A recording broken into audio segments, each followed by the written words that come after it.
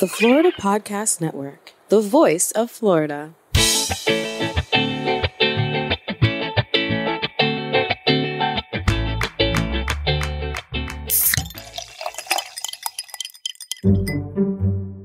This is Gerard with episode number 31 of Florida's Fresh Mix on the Florida Podcast Network, a random mix of Florida's freshest personalities. Listening. Hey there, this is Amber, the lead content producer of the Florida Podcast Network. Welcome to another episode of Florida's Fresh Mix Podcast. Happy hashtag Fresh Mix Friday. Yes, I'm still trying to make that a thing. and with me, as always, is your host, Gerard. How goes it, Gerard? Oh, it goes well. Not only is it uh, Fresh Mix Friday, but it's uh, the Friday heading into a long weekend. And, uh, you know, we love that. Oh, yes, we do love that. And we're going to talk a little bit about what's happening this weekend. But first, let me introduce our guest today, AJ Glover. She is the CEO and founder of Daze Staffing Solutions. She's also the co founder of Casheley Co., which basically is a wellness community that I really want to be a part of. And she dives into all of those great things. But more importantly, Gerard, this conversation, more than any of the other ones that you've had so far, this one is truly a redemption story at its finest. AJ went through the fire many times, got burned, she got charred. She made it out, and now she lives to tell the story that you guys are all about to hear today. So, very excited for this one. It's packed with tons of emotion. It's very dynamic in that way. So one minute you might be crying, the next minute you might be laughing because AJ has such a bubbly personality. And uh, yeah, it's just this is definitely one for the books for sure. Several of our interviews, we've touched on people's adversity and and so we've heard some painful stories. What jumps out to me the most is, um, uh, off the top of my head, is our interview in episode 30 with uh, Liz Ashesky, and um, also our interview with Patrick McNamara and, and the struggles and the pain that he had to go through in his life that you know got him to where he is. But uh, AJ stands out to me as someone who you mentioned she got burned, but she got like burned, drowned, run over sandpaper, like everything. Yeah. It's like it's easier to kind of be like, you know, what have you not been through? Like it's yeah. Um, and the contrast between what she's been through and where she is now it's admirable it's it's a blessing it's it's it's all the positive things. This is a very exciting conversation. It's tough to hear and that's why i want to quickly just give a little trigger warning because the topics of domestic violence domestic abuse and suicide come up in this episode.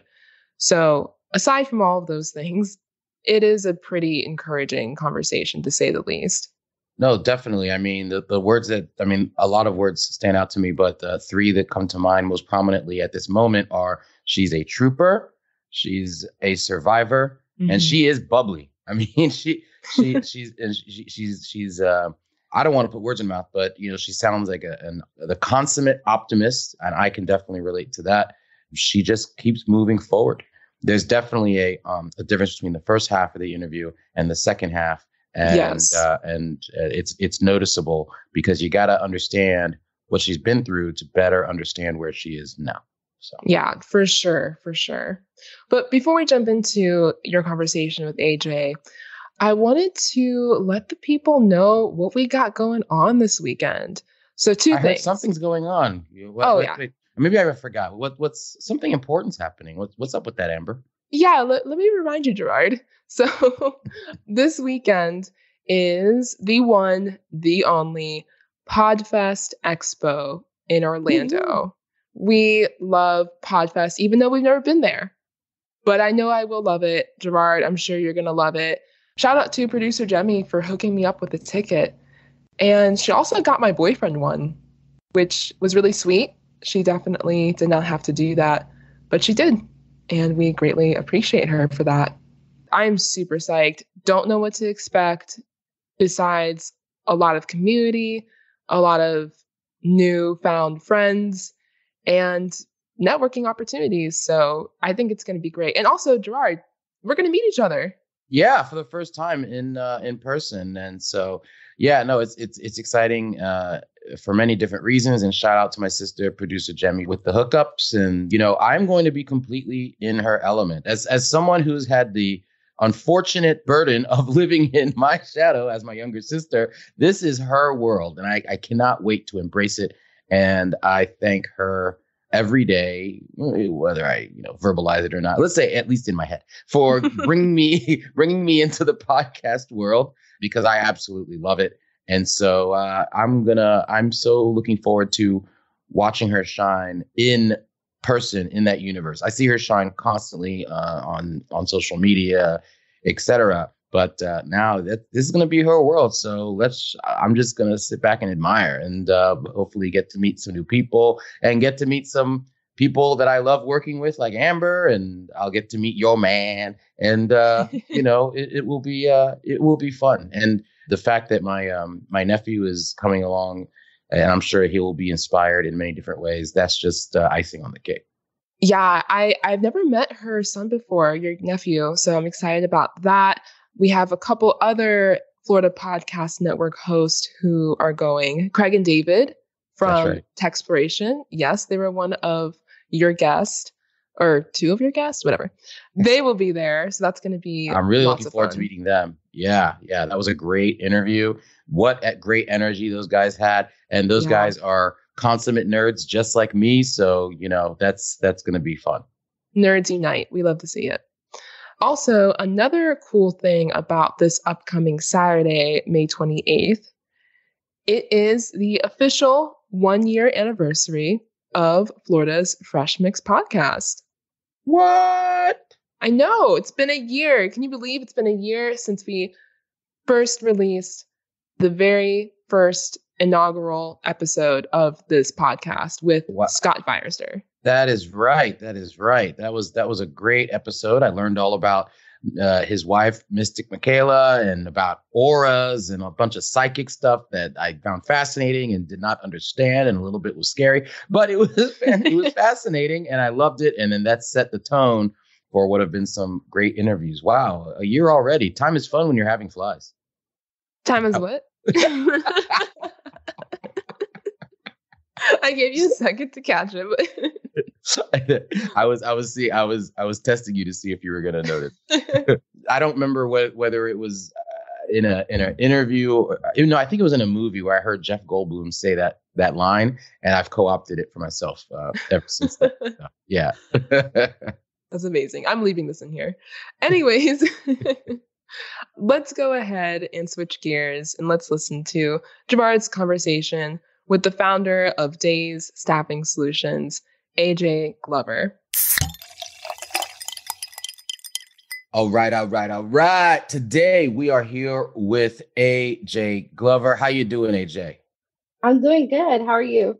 I'm doing well. I'm I'm feeling. Uh, I, I have a lot of anticipation because I, I don't know really how this interview is going to go because you have such an interesting background and you're doing so many diverse things that are seemingly unaligned, but I think that they cater towards you know different parts of your personality, and I and I really want to you know dig into that. I want to skip to the end, folks. So you should know that right now I'm talking to an Orlando-based CEO of Daze Staffing Solutions. She's also the co-founder of Casheley Co.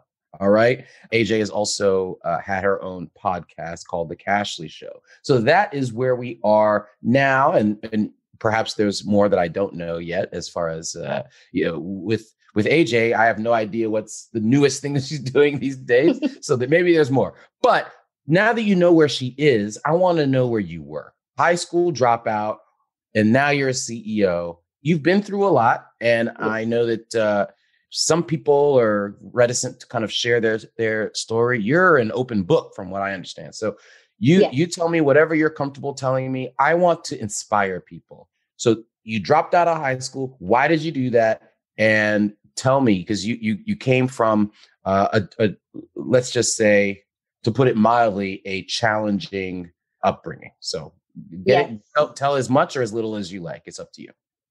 Okay, perfect. Thank you. So, yeah, I did drop out of high school actually on my 18th birthday.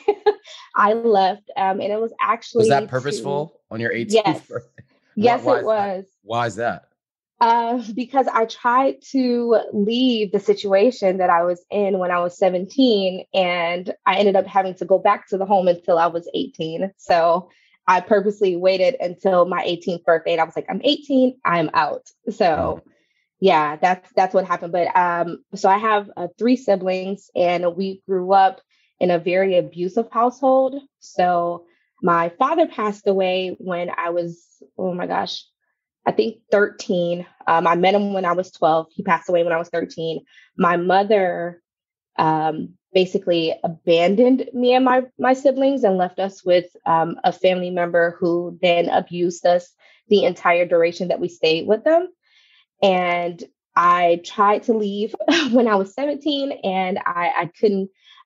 Basically, they they did a lot of manipulation and things of that nature. So when they told me to leave and get out, and I did that, they made this whole big ordeal. They called the police. It was just, it was crazy. And then the police told me, like, you know, you can't leave in, unless you're 18. That's when you're actually an adult. So when I turned 18, I left. I left the school because I didn't want to be found by the person who was abusing me. I wanted to break free. And I knew that by breaking free, that my siblings wouldn't endure as much as I'm enduring because maybe, well, that was my hope, you know, maybe they realized that, oh, she actually ran away from home. She dropped out of school because of me, you know, that's that's what I thought would happen from that. So I ran away. I, you know, got my apartment. Um, I ended up getting married to This is at 18 right? This is at 18. I got married okay. at 18. Yep. All right, let's pause. Let's pause. Let's pause for a second. Let's pause for a second. you, you, know what you just did? You just did a lot of glossing. Okay, like, I know. There was, there was that was like a gloss fest. Okay, so let me let, let me point out one thing. Like you know, I'm not trying to get you to have to dwell on you know painful experiences, but I did not know that you only met your father when you were 12. Yes. And then uh, and then he passed away a year later. I did not know that part. So what was the yes. reason why it took so long for you to get to meet him in the first place? My mother hid who my father was because she was ashamed of who my father was. And oh wow. Yeah, my my father is much older. Well, he was much older than my mother and even that story is just it's crazy. Um, so she was ashamed of of who my father was. So she didn't tell me. We didn't find out and go get dna testing and all of that until i was 12 and i met him but couldn't really see him couldn't really visit him because the person who my mom left us with she didn't approve of me seeing him or anything like that. She's very controlling. Um, so when you were growing up did you not have any information about your father or did you think someone else was your father or like how was i mean this is this is uh yeah. crazy to me. Yeah i had no information of who my father was. Wow.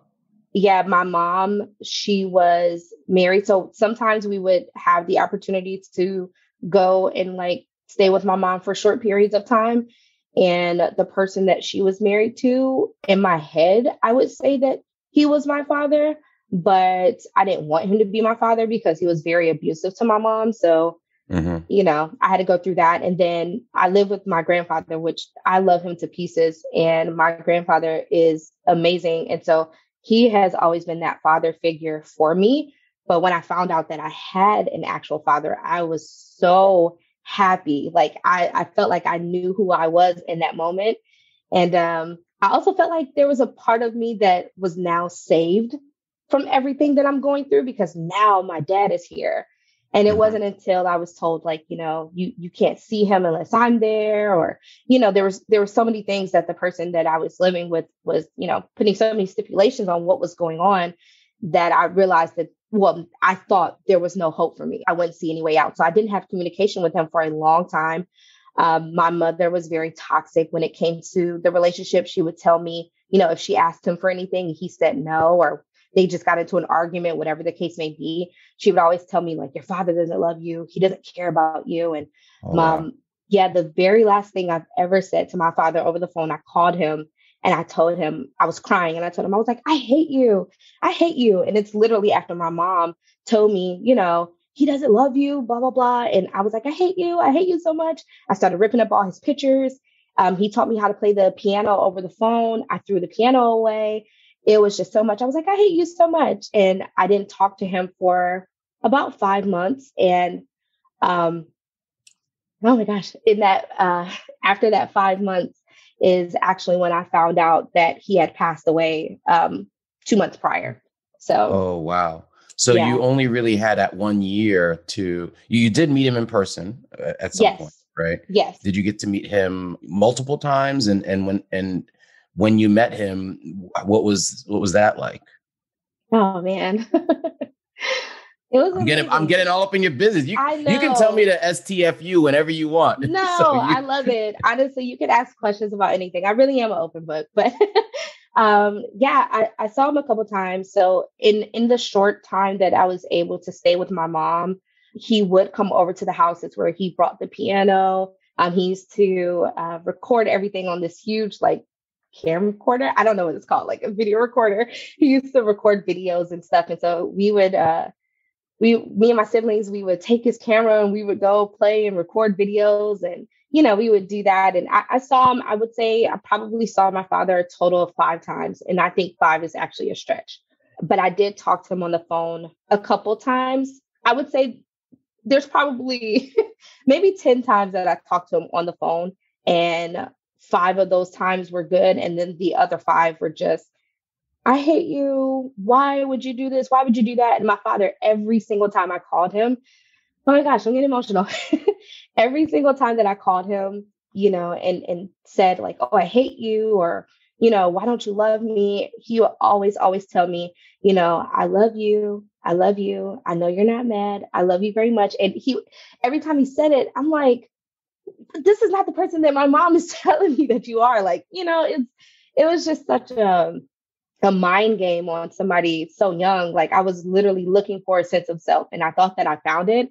And then it was like snatched from me. And then when he passed away, it just, I just literally um, went into a very, very dark place. I think, no, not I think, I know that when my father passed away, that was the very first time that I attempted suicide. It was the very first time. Was his passing unexpected?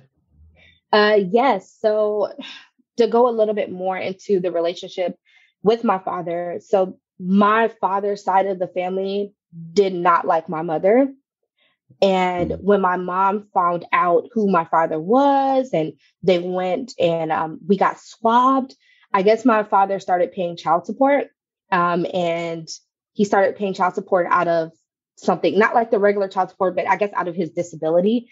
And the only reason that I actually found out that he passed away, no one told me. I didn't attend a funeral. When I did actually see the obituary, I was not listed in it, anything of that nature. I actually found out through the person that I was living with, the checks were going to them and they were like, whoa, you just got a huge increase.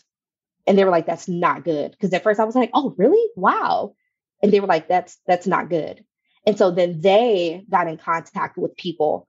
And then she found out and, and then she told me that he had passed away. So yeah. Oh my gosh, I'm sorry. I'm so sorry to hear that. No, I listen. It's it's extremely tragic. I, I knew some of these facts before, but it just sounds like a tragic uh, BET lifetime, whatever, all, all, yes. all whatever. It's yes. it just. But but the reason I wanted to, I purposefully wanted to start out with where you are now, and I wanted to point all of that out, is because this is a um, success story in my yes. opinion. Um, and I hate to, you know, pull at your heartstrings and make you go places you might not want to go. But the, the point is that, you know, inspiring people involves giving them a sense of familiarity. And, and look, I don't have any familiarity personally with anything that you just said, but right. other people, other people would.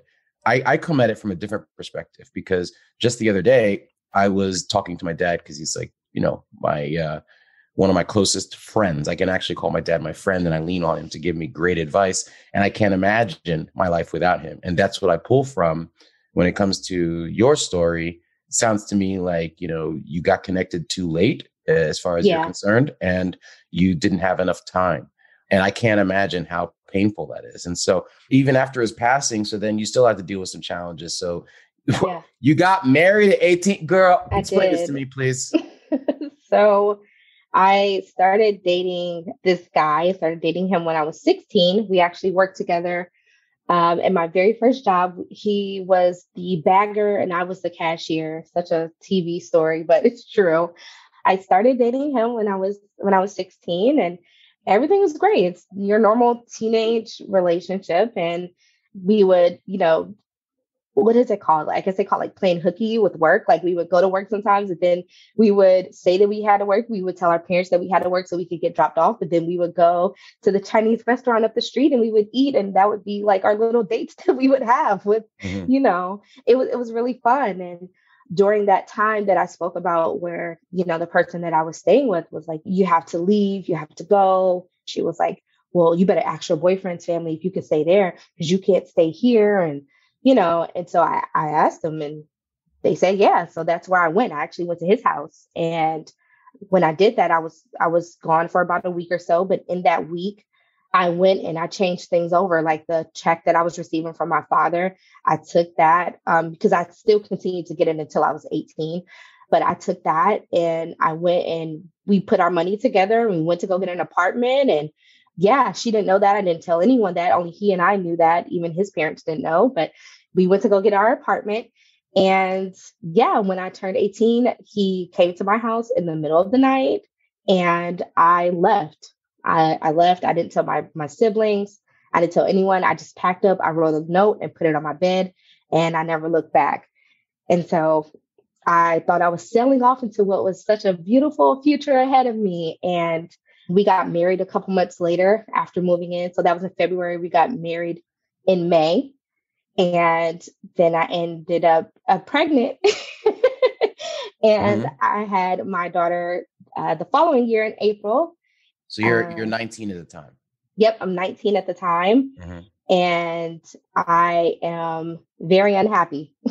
so I'm 19, I'm unhappy. I'm married. Unhappy because you you feel like you've got you know, kids are an insane responsibility at any age, but did you feel like, you know, you couldn't go to the club because you had a kid? and did you feel uh, unhappy in your marriage or was it both? Like what was your what was the source of your unhappiness at the time? Yeah, so I would say it's more so the second one. So I was unhappy in my marriage, honestly, before I found out I was pregnant. I was unhappy because the person that I was with consistently cheated on me. And I didn't find out until after I was pregnant that they did it, but they started acting different before I found out I was pregnant. Mm-hmm. So it just, you know, when I'm moving in, I'm like, yes, this is so great. I'm independent. I'm free. You know, life's going to be great. He loves me. I love him. And that's not what it was. It was, he started acting very different. I started taking on more of the traditional wife role. I was so happy you know, to be free that I was like, I'm never going back. So I'm going to make sure that he's super happy. Like I'm cooking for him, cleaning, I'm doing everything. Like he doesn't have to think about anything. I'm doing it. And um, I found out I was pregnant. And then I found out by looking at his phone, not even going through it, he had a, a Palm Pilot and the notification was just like right there on the screen. But it was an Palm Pilot digging in the crates. Yeah, got it. Yeah, seriously, I, I, had, right? I had one too with the stylus and yeah. Yes, yes. Go, he go ahead. one. yeah. Yeah. So I, I, saw, you know, the girl said that um, she couldn't wait for him to come back.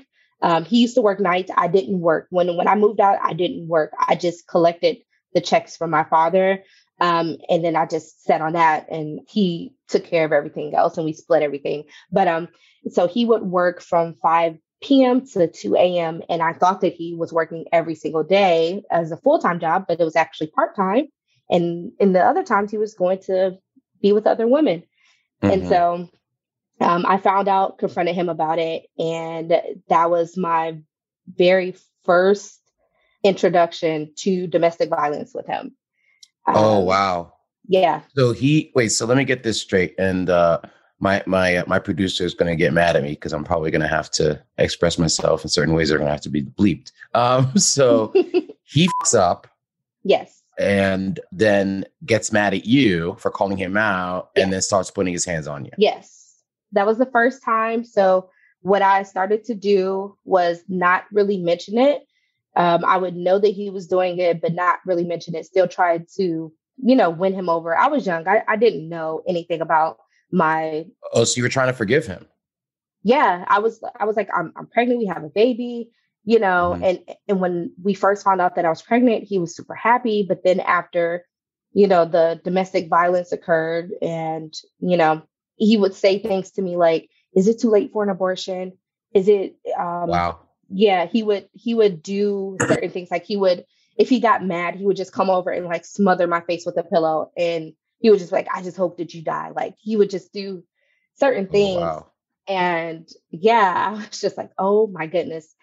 And um let, yeah. let me ask you a thought question. And maybe maybe it's a it's a hard question to answer objectively, but do you think that had you not been pregnant, it would have you would have easily left him or or were you still hoping that you could make the relationship work?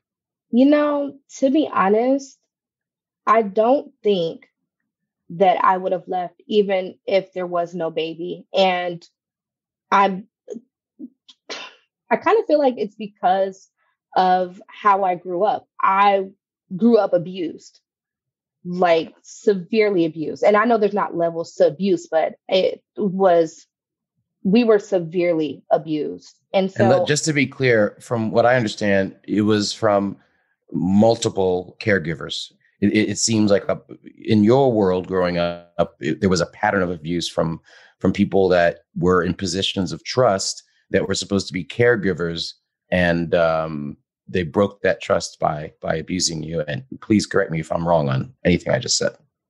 Yeah. So the physical abuse was by one person.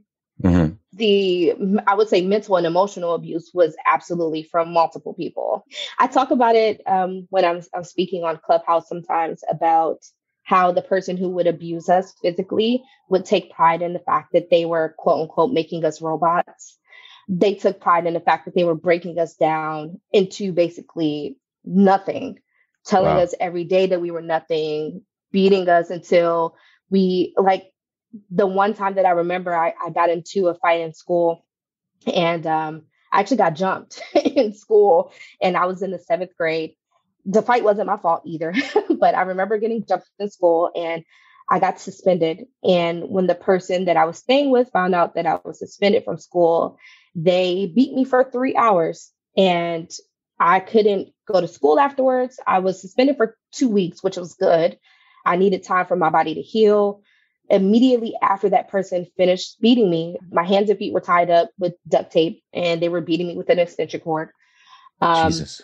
Yeah, after after they took the tape off and let me go into the restroom to kind of like clean myself off, they actually told me that they did it because they loved me. And my mother was the one in the bathroom, like helping me clean off. And it was just it was crazy. Like that whole situation, just like knowing that my mother, the person who gave birth to me, is in the other room the entire time listening to this happening and not stopping it, it's just ridiculous. So it's unbelievable. So help help me bridge this gap between, you know, you're there, you're you're you're pregnant, and mm-hmm. and your man is cheating on you, and he's mm-hmm. also not being the most supportive father or partner and you you got all of this trauma built up from your past how do you bridge the gap between that happening and where you are now yeah absolutely so throughout all the you, you well, first of all, you know what? You know I'm really curious because when I listen to your podcast with Cass, okay, yeah, you guys are you guys are giggling up a storm, okay. You're the you're like the happiest. You're the most free flowing. I can't reconcile the the, the horrors that that yeah. have that you've been through, and you know the just joy that pours out on your uh, you know YouTube videos and and your podcast, whatever. So I'm trying to understand how you got here. Help me understand how you went from from that point with you you're pregnant, your man's cheating on you, he's not being a great father, and you're you're dealing with all of this baggage, emotional baggage, how did we get from there to here? yeah. So I would say, and thank you for thank you for that. Um, I would say that honestly, I've always loved to laugh. So I used to love to go to school because it was my escape. and I would always be the class clown. I, I was always known for being a class clown. So I loved making other people laugh and making other people feel good because I did not feel good. So that's mm-hmm. always something that has been inside of me. And then throughout my life, from people helping me with my domestic violence cases or people helping me when I needed clothes or anything like that, what, because even though I was married, he stopped doing things for me. So I needed to get clothes from people, things like that. Like I would always exchange something in return that made them feel good. So making people feel good has always been a part of who I am as a way to cope for what I've been through. And honestly, it's still kind of something that I do to this day. When I feel the worst, I give the most. Mm-hmm. so mm-hmm. it's just something that I do. So yeah, once I basically from there to to now, I basically just started looking at my skills um, because I wasn't working throughout that that time. I started looking at what I was good at, and I actually took a job in customer service. So I went and started working for a call center and started talking to people and just hearing their stories on the other side of the phone, it became more than just a job for me. It wasn't just let me help you with your bills. It was listening to people say, you know, I'm I'm just a student or, you know, my mom just passed away, I'm disconnecting her service or they're crying on the other end of the phone and I'm just sort of like their counselor. Mm-hmm. And I, I absolutely love that. And so it started from that to helping people with their ideas, you know, oh, I want to start a business, but I don't know what to do. And I'm like, I think that you should do this, you know? And then I started being known for that. And people like, oh my gosh, I really need a job. I started helping out with that. So I started being known as like a resource in Cleveland uh, where people, you know, go to go to AJ, you know, if you need anything or she'll help you with this. So my phone would just be ringing off the hook. And so after I ended up leaving him, um, I ended up actually getting married again to oh wow. I didn't sweetheart. know that part. Oh. yeah. So i'm currently married. You're currently married? Yes yes. when did you when did you get married?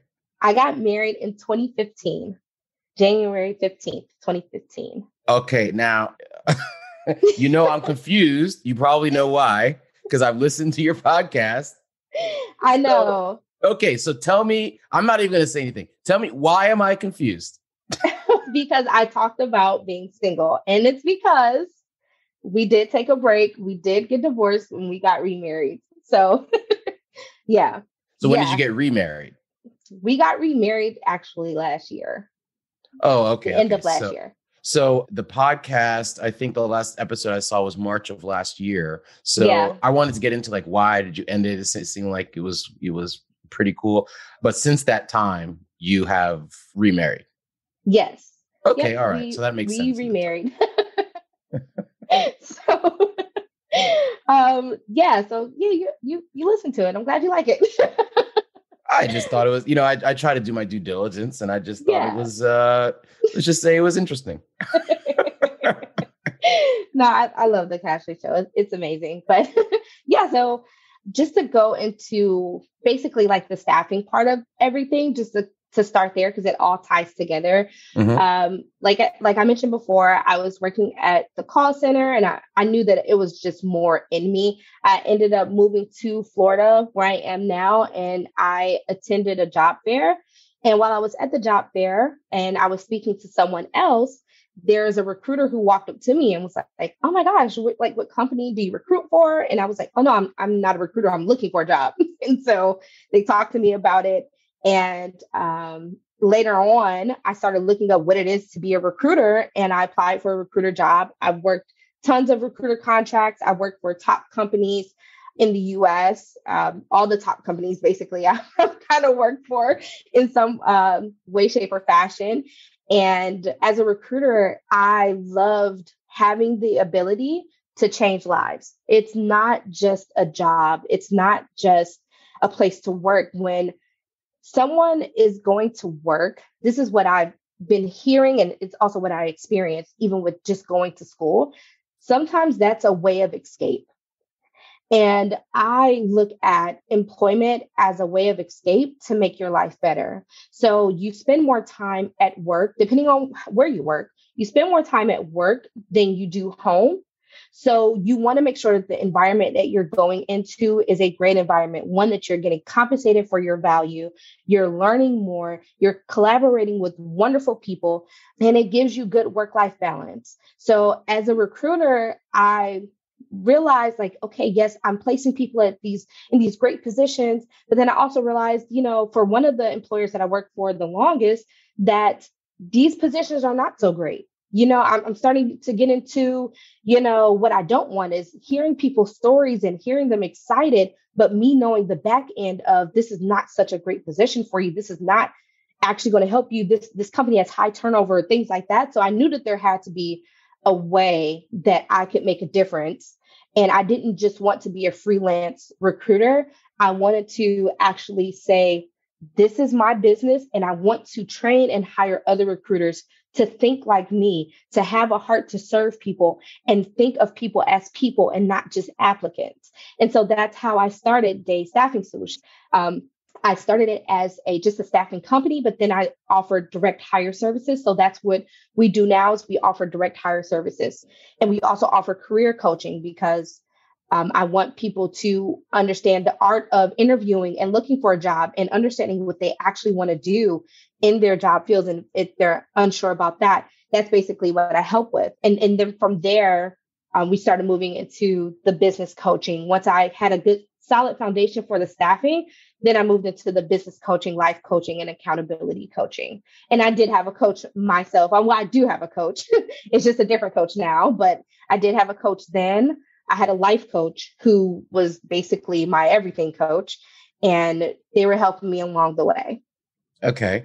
So there's a lot to unpack there. So I have some familiarity, you know, as an attorney, you have, we call them headhunters. You hire them and they, you know, you want to get out of your current legal job and then they go and try to find you another job, you know? Yes. So is, is, is there a difference between um, what you do and being called a headhunter? And secondly, does headhunter have a negative connotation? so there's a little difference. All of recruiting, staffing, the job market, all of it has a negative connotation with it. And that's fine. I still to this day, I receive tons of pushback. There's people who say that, oh, I don't want to work with agencies. You know, there's a high turnover rate. And sometimes with headhunters, they're just trying to go out and grab anyone and have them fill a position just to throw them in it. And so, right, because that's how you yeah, get paid. Yeah, exactly. Right. So, yes, there's a similarity there, but here at Daze Staffing, we don't do that. So, I absolutely want to make sure that just going back from my past, my mother dropped us off at this person's house and we had to stay there. We were dropped into a terrible situation. And I had to live with that. I don't want to drop people into terrible situations. That mm-hmm. is my motto. If I know that it's something that's not good, um, my recruiters, we turn down companies all the time who don't have good reviews after we check on Glassdoor, um, LinkedIn, when we speak with employees and we read reviews, we do turn down companies if they're not good work life balances. There are cases where the companies that we reject do come back to us to help them improve processes and procedures and their interview panels and things of that nature. And we will assist with that. But we don't just place people at companies just for the sake of a paycheck. And on the other side of it, when I do find a great company that, you know, we want to work with or my recruiters find one that we want to work with, we don't just place any candidate. We want to find world-class talent and we want the candidates who um, we speak with to feel like they are the best at world class talent. They're in the top 1% of people who can do this job. And that's what, you know, that's where that value comes in at. So that's why when I invoice companies, for 20,000 or 30,000 or $40,000 for one candidate, it makes sense. So that's mm-hmm. where that value comes in. It translates over into the business coaching that I have. I won't let you fail or watch you continue to go into a bad situation. I'm there to help you. I have my own resources, the things that I've been through, and I also have a powerful network behind me that can absolutely help you with anything that you need. And so um, that helps with that. And then life coaching, I went into life coaching because being a therapist would just, I'm a, I'm a very empathetic person. And with working with my therapist, I know that therapy is not where I need to be because emotionally I would be a mess. But with life coaching, you do get a you know a little bit of emotion with that, but more so I'm here to encourage you and stand by your side. And that's the same with accountability. There's really accountability in life coaching and business coaching. And so that's what I do. okay. So um so I, I was gonna I was gonna, you know, let you plug your your your company and your business and do all that at the end uh, and and we'll we'll still do that but uh, all right you you you just went into it you're like um this is my value add and boom so just to put a pin on that commercial um why don't why don't you i, I want to know um do you charge the talent anything or do you only charge the companies that are looking to hire we have two different models. So we charge the companies who are looking to hire. So if we find a candidate, if we actually go out and find the candidate, then we don't charge the candidate anything at all. We only charge the company. We send them an invoice once we have an, um, a start date for mm-hmm. the candidate. A candidate is never charged. We do offer right. career coaching, and you can work with my recruiters or myself, and then that's where a charge does come in. But yeah, not any candidates that we find for a position, they're not charged anything. Okay. Now, how did you become a CEO? It is one thing to deal with adversity in life and then be like, you know what? I'm a success now. I I got a job. It's a good paying job. I'm paying my bills and I'm raising a family and I got a new man and I'm great, whatever. But yeah. you went further than that. You you did the scary thing of being uh, an entrepreneur and starting your own business. Yeah. How did you end up having the wherewithal and the mindset to actually take that leap to be your own boss? You know given given all the adversity that you'd faced. That's what i really that's that's the connective tissue that i'm failing to understand so far. Yeah. Yeah absolutely. So i'll go back to when i got married to my current husband. Um, we were homeless i had to you know let my daughter go and stay with a family member and i just i I didn't want to keep living uh, that way. We would stay in our car, we would stay in a hotel. We just had a lot that we were going through. And the money that we made, it just it, it wasn't working out. I didn't feel good about what I was doing as a recruiter. I felt like there was something else that I could be doing. And the reason why, like looking back on it, that I was actually homeless for so long is because I felt like, well, since you dropped out of high school, you only had your GED, you don't have a college degree, so you can't get into business. You can't own a business because you don't know what it means. You didn't take any business courses. So mm-hmm. that's what I thought, you know, th- I let that negative self doubt get into my head and stop me from starting the business. But after a while, I I don't know, literally something just clicked and I said, I can do this better. I can help people. And I started to do my research. Shout out to YouTube University. I started looking on YouTube and I started, you know, Googling everything. And I found out how to actually register your LLC and just the, the basics. I started to Google and find out things for myself. And I would go to different networking events, the ones that were free because I didn't have money. you know, go to the mm-hmm. free networking events and speak to people. I would lie say that, you know, I yeah, I have a business. I'm just not sure where I wanted to go with it. You know, I would say that so I can feel good about being there. Fake it to make it. Yes, I would just, I, that's exactly what I did. I would literally fake it to make it. And I would get so much knowledge and so much information. And then I used all of that to start my business. So I started my business while I was working. And then after I felt like, you know what? I've made my very first placement. I have $10,000. I'm going to quit. And from that moment, I have been full speed ahead. So that was about, I would say 2017 actually, is when I was full steam ahead with what I was doing. That's fantastic. That's fantastic. So again, I, am extremely inspired by uh, the fact that you persevered. You know, you, you told us about the suicide attempt, and I mean, it, it seems like there's nothing that life hasn't thrown at you, and here you are. Why Daze? What I'm curious. What's why? Why the name Daze Staffing so, Solutions? Yeah, so Daze is actually the initials of my name and my, my family's name. So it's my husband's name, my name, and then our two kids because he has a daughter and I have a daughter. Okay. So it's their names all together. okay. All right. Nice. I'm glad I asked. All right. Um, so tell me about Cass. I mean, you guys are, you know, the the podcast has not issued a uh, hasn't done another episode in like you know last year. Are you guys yes. still friends? Are you guys still working yes. together? Like, are you guys still doing is Casheley Co together? What's up with Cass? And by the way, Cass used to be my rap name when I was what when I was in, when I was in a rap group in uh, in college. So uh, my my this is all true. Okay, so my group was called the Two Timers, T Y M A S, and my name was Casanova. Ah. Yeah, with a K, K A double S A N O V A. I'm getting faded off that Alizé. I'm eating tricks of all types of flavors, so they call me Silly Rabbit. OJ on that when I stab it. Oh. yeah, and, and, my producer's gonna have to block out some of that, but uh no, I love it. yeah. So yeah. So my name was Cass Casanova. But anyway, uh, my girl, my girl's probably gonna kill me. Um, I love you, baby.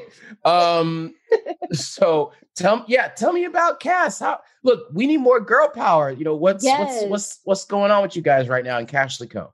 Yes, thank you so much for asking. And shout out to Cass. I love Cass. Cass is my best friend we actually met online, and that story itself is even crazy how we became best friends. But yeah, she's my best friend, and we used to actually Casheley, the Casheley show started out as an Instagram live that we would do every week. And people loved the Instagram live, and they they would say in the comments all the time, like, "You guys need a podcast." You know, have you known each other for ten years? Like they would ask, like, "How long have we known each other?" And it was just so funny that we we decided to start the podcast and from there like people loved it uh, we have so many episodes that we recorded that just haven't been put out yet and that's honestly just due oh, wow. to okay. life yeah we have we have um a lot of podcast episodes that we have with certain artists and things of that nature, business owners um, that haven't been put out yet. And then we have ones that we record, like the hot topics, like why are you single, things like that, that we haven't put out yet. But we also have um, Cooking with Casheley, which is where we do, it's not necessarily just us, but we have chefs. So the TikTok chefs and Instagram chefs that you see, they have the opportunity to come on our show and it's a Zoom class that we do, and they actually teach people how to cook. We have meaningful conversations or just really like let your hair down conversations, and you get to cook a good meal at the same time. So that's cooking with Casheley. So we've been focusing on that. We don't want to do too much at once, uh, but we both love food. We both love to cook. And yeah, that's where we are with it. But the podcast is coming back. It is. You're, you're going to see us. We have so many different things that uh, we're working on and gearing up, but yeah, I, I, love Cass. That's that's my girl. I know you can tell, like from listening to it, like I love her so much. Yeah, you guys are just like giggling up a storm. I'm like, um, am I going to be interviewing like a middle school or a, t- a teenage girl? Like, what? You guys are just so like, you know, happy and and then and then, but then I really like, oh, okay, okay. Clearly, they're adults once you start getting to some topics. Yeah, I'm like, yeah.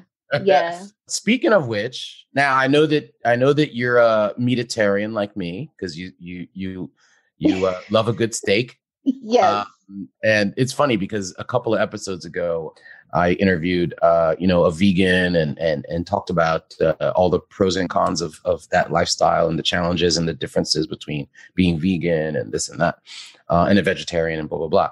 And I thought a lot of the arguments are compelling, but man, I can't give up that meat, man. I just can't. I just can't. Yeah, me either. I can't do it. I love it. um, and and from your Instagram page, you know, you, you seem very much like a foodie, and like you said, you've got the cooking with Casheley. So, hey, keep doing it. I mean, is that more of a creative outlet for you? Because the the Daze staffing solutions is kind of like you know your daily jobby job that pays the bills, and you need an outlet, or do you find passion in both? That's a great question. That is a great question. So I absolutely find passion in both. And it's because the goal of Casheley Co is to have a place where people can feel and become good humans.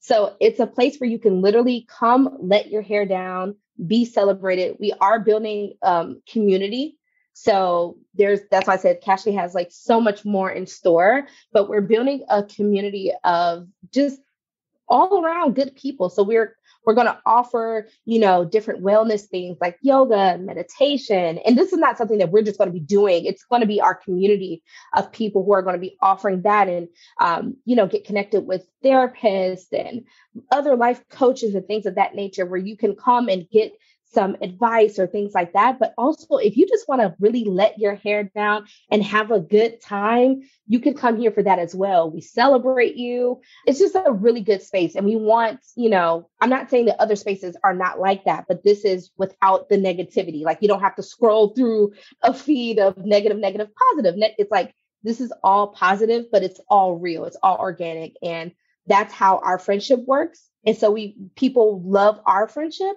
and so this is a way to give people a piece of our friendship. So I have passion for both.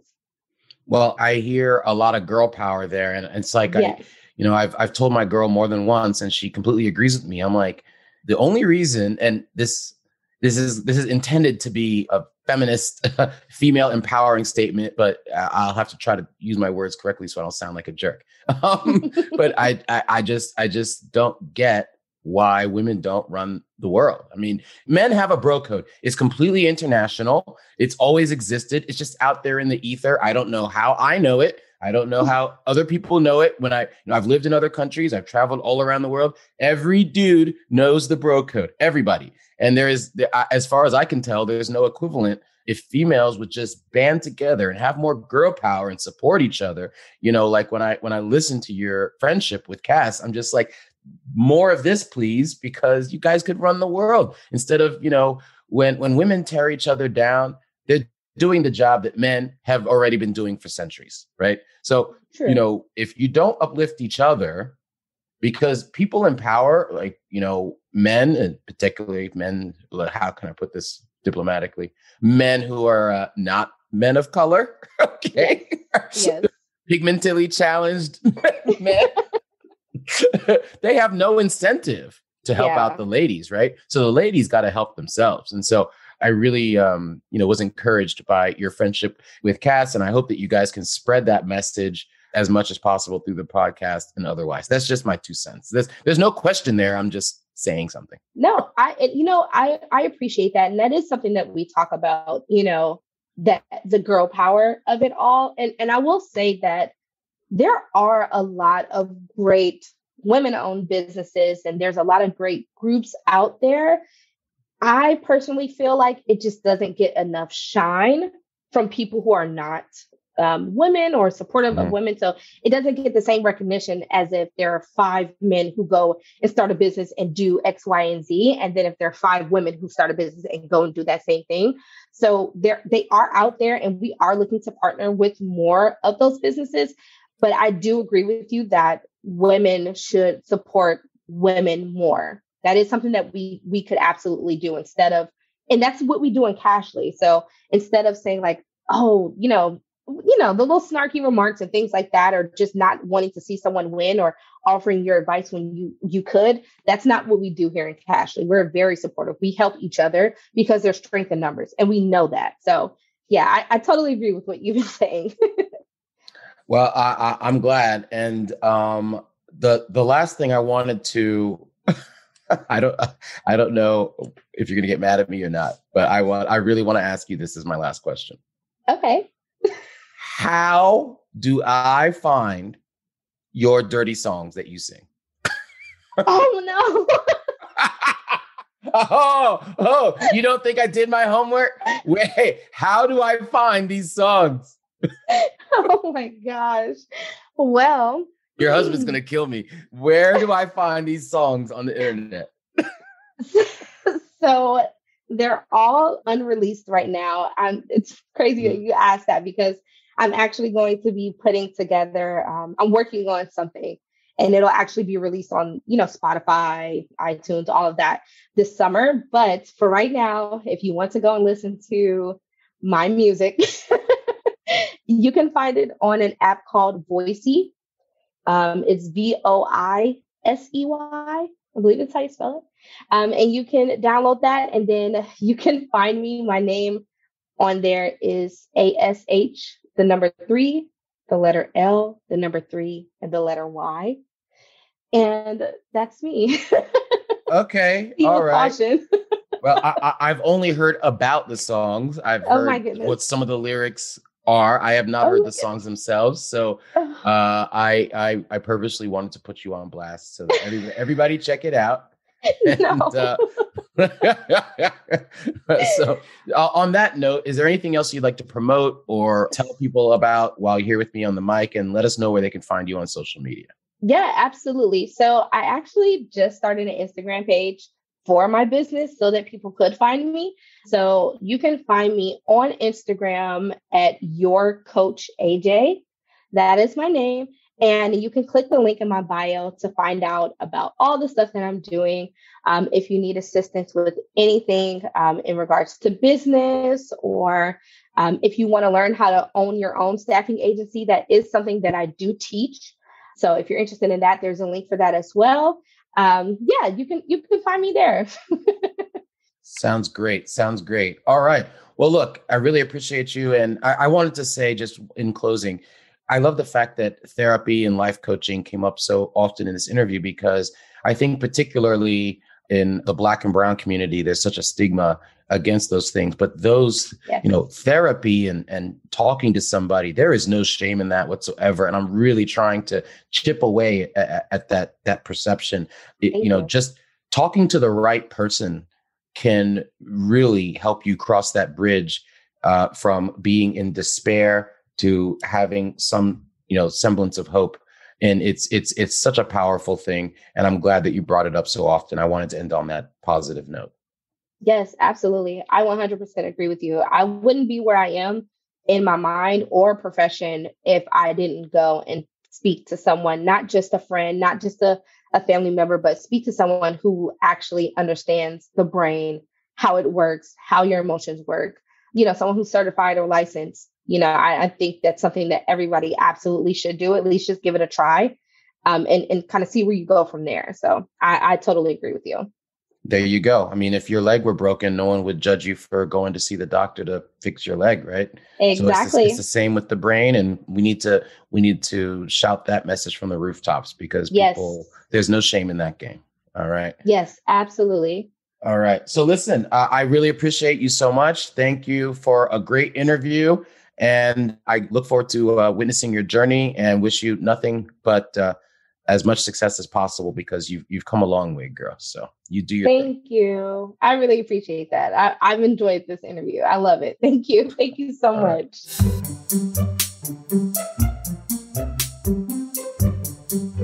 Well, so once again, we've got an interview that covered uh, so much territory. So yes, I could, for my fresh take, I could, you know, focus on all the adversity that AJ has faced and how she's come out of the darkness and into the light.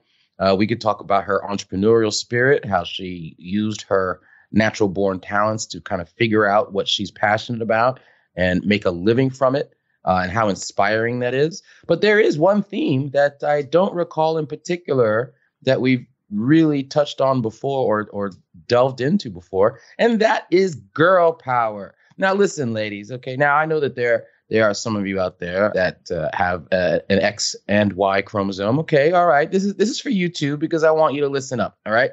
But ladies, us guys, we've got it made. We we we always have been since the beginning of time. Like there literally has been no period of time where dudes haven't had it made because we've run everything. Okay. And I still believe that a large part of it is that we unite. All right. And, you know, of course, there are, you know, uh, especially, you know, guys get all uh, competitive and whatever to climb the corporate ladder and in sports, et cetera, et cetera. But there's always a universal brotherhood there that I just don't, I don't know how it came about. I can't really describe it. But ladies, you guys have just as much of a chance, if not more, because you don't have all of our insane testosterone and the, all of that competition going on. Okay. You have even more of a chance because of the unique gifts you have to come together and support each other and uplift each other and help close this gap in our society, whether you want to talk about the wage gap or the laws on the books that oppress women or affect women and don't affect men at all. Anything out there that prevents you from fulfilling your best self and being your best self. Okay. Because we've got basically no incentive to do it. All right. so you have to look inward and lift up yourselves, both individually and collectively. And I'll I'll even go so far as to say this. Okay, let's say you're a business owner and you can hire two people, one's a guy, one's a girl, and really there's really no differentiating factor. They're both very well qualified. And uh, you know you get along with both of them great or at least you you think you would. They both interviewed great. You just have to make a decision. Look out for your sister go ahead. There's no shame in that. I'm gonna be all right okay? If i'm the dude i'll be just fine okay? Believe that all right? So listen get together. We've got social media. We've got clubs. You guys can you guys can have support groups. You can talk to each other. You can have fun with each other. You can be like aj and her girl and and and laugh together and just spread that joy, that girl power all across the airwaves or all over social media and just look out for each other. It's that simple. So I would encourage that. And particularly as I have, you know, a younger sister who I love tremendously. And I see her rising up in the ranks through her own entrepreneurial spirit and her drive, et cetera, et cetera. And I love the way that she dedicates so much of her energy to uplifting other women. So that is my fresh take. I hope I didn't say anything on PC. Mm-hmm. Hey, but you know what? That's just fine with me. I'm just trying to be supportive, y'all. All right. Thank you for listening in on yet another episode of The Fresh Mix. Please tune in again soon. I look forward to hearing from all of you. For details and show notes about today's show and our guest, go to freshmixpodcast.com. I'd really love your feedback both on today's guest and on my fresh take. The Florida Podcast Network has a closed Facebook group exclusively for super fans of their shows like Florida's Fresh Mix. So we all look forward to hanging out in there with you. Just search for FPN Insiders on Facebook and leave us comments, get early scoops, contests, and other special treats. Or you can just complain about Florida's, I don't know, holiday weekends. I mean, it's probably not like this everywhere in Florida, but where I live in Miami Beach, we can't even enjoy our holiday weekends because all of you guys that live in whether it's urban areas or the so-called flyover states always congregate in my town. I can't even go to the beach. What's up with that? Aren't there fun things to explore in your town that you haven't done yet? You can have a nice, you know, staycation. Why do you got to come to my town? Why? But anyway, be sure to visit all the great shows on the Florida Podcast Network. You can find them at floridapodcastnetwork.com. Keep catching Who's Fresh and the Florida Mix with Florida's Fresh Mix podcast.